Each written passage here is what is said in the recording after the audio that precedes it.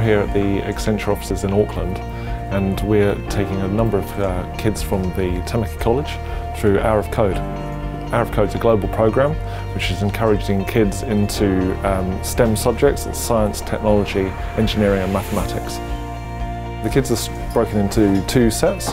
The first lot will be doing a, developing a photo booth app uh, the second guy, a lot of students will be taking a, um, the basics of uh, coding, uh, HTML and that sort of thing. During the main session, the kids will have an opportunity to step out into our collaboration room and uh, get to grips with VR and AR technologies and have a bit of fun. In my uh, high school experience, we never had this chance to be able to um, get into the uh, technology industry or have any like insight into it. So I think for these students here today, they'll be able to um, expand their horizon a little bit more and get a greater understanding of where they could potentially go. I think the kids have been exposed to a whole new world. What these kids learn today is that coding has so many applications, not just in cell phones and the internet, but also in healthcare and education, and even just gaming.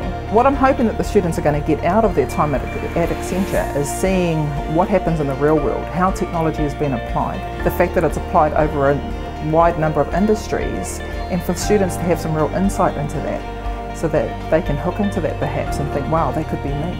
I could do that.